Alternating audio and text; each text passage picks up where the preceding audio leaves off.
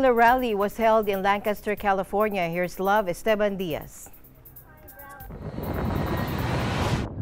We are here today at American Heroes Park in Lancaster, California, which is the location of one of the 800 sibling marches organized by students nationwide and one of 845 rallies worldwide.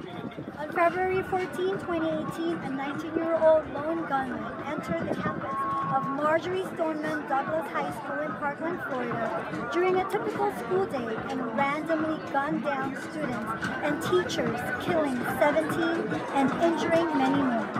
Among the weapons the gunman had in his arsenal was an AR-15, an assault-style military-grade weapon, which is also the weapon of choice used in mass shootings in the U.S., including the Las Vegas concert shooting earlier in the year. And gun violence!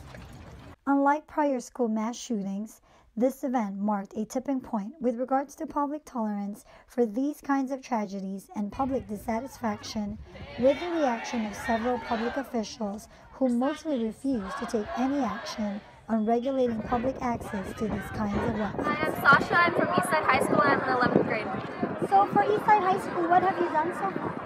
I've written to the AV Press. I've led a walkout at school. I've been published in um, with interviews and stuff. I've been on multiple uh, websites. Um, I've done as much as I can to say that we want safer schools. Well, I'm usually the student who sits back and I'm quiet in class, but lately I've been tired of being silent and I'm here saying that like enough is enough and I'm here to raise my voice and people are going to hear me. What message do you want to send to Congress and to the public in general? I want them to know that we are teenagers, we have voices, they're going to hear us, and we're going to make a change because we're done saying, we're done being afraid to be at school, we're done fearing for our lives. So what do you expect this march to bring about?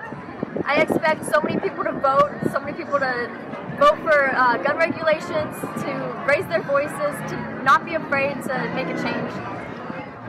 And critics of this movement, especially the National Rifle Association, have said the goal of this movement is to take people's guns away, or in other words, to regulate public access to any kinds of guns, and to eventually repeal gun ownership rights as guaranteed by the Second Amendment. What do you say to that? What is your response to their concern? So many other countries have gun regulations, they have background checks, and they haven't had as many mass shootings as we have. This is Love Esteban Sanchez reporting from EBC Los Angeles, and I am one with 20.